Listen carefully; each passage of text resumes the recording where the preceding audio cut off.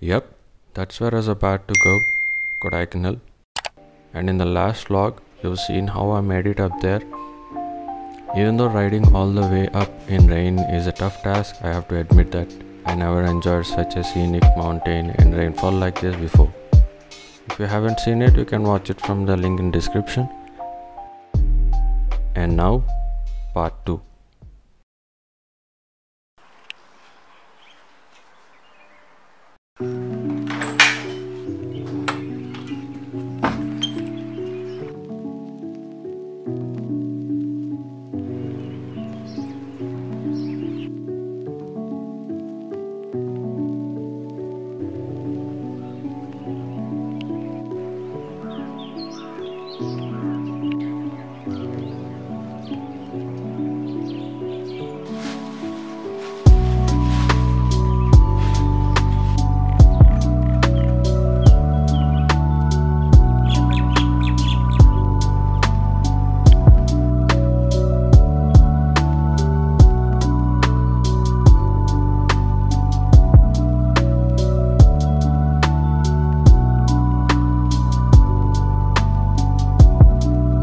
Reached Kodaikanal almost at 7:20 pm and after reaching I got to know that there will be a rainfall for at least 3 days.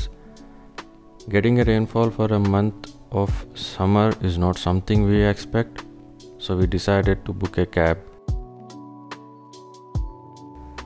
We have first visited Kodaikanal lake. The breeze was cold and started to feel like it's going to rain, and it did.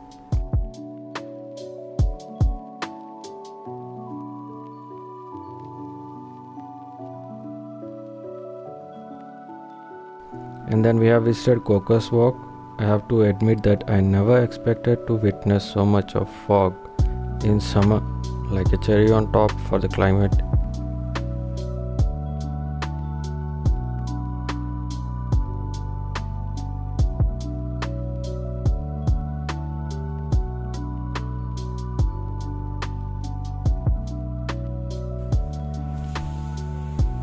And on the day too, it finally appeared like there is sunrise and climate will be sunny.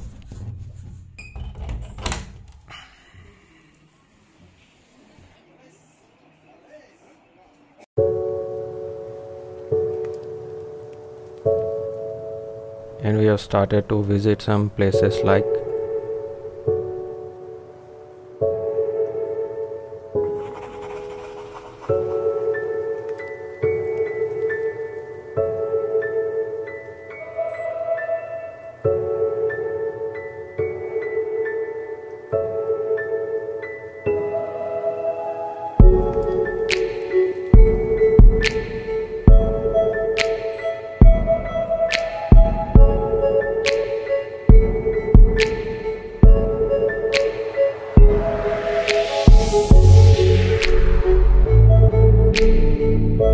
Música